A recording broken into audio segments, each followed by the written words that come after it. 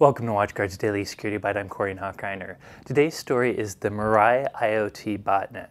A couple of days ago, I had a video talking about two really big distributed denial of service attacks, one against Brian Krebs and one against a European web hosting company.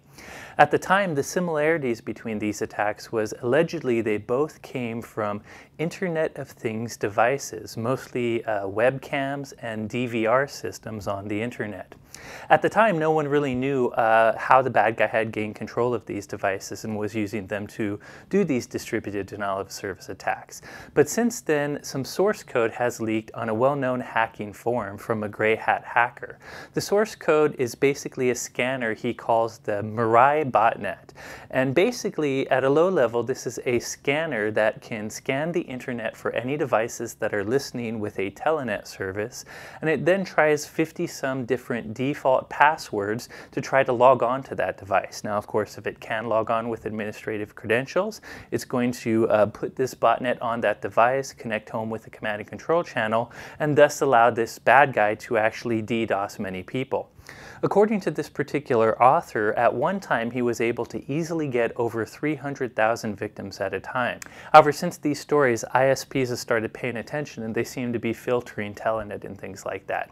In any case, we now know how uh, this particular actor launched these DDoS attacks. And it really is kind of eye-opening and concerning that we have so many uh, Internet of Things like devices listening on an unsecured Telnet port.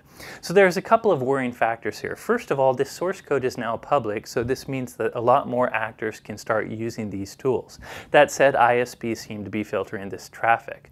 But the worst thing here is the fact that this is so easy to prevent. So the practical tip really is, if you have an Internet of Things device, you really need to firewall it.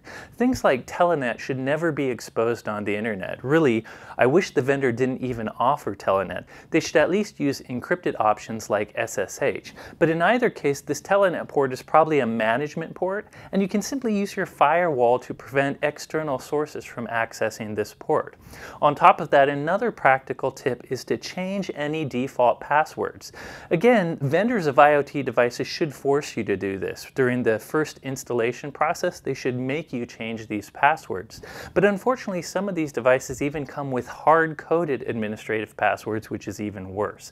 In any case, it's a very interesting story. If you want to know more details, check out the articles in the reference section associated with this blog post. And remember, firewall your IoT devices. Make sure not to allow any sort of unnecessary access to them. That's it for today's story. Thank you for watching.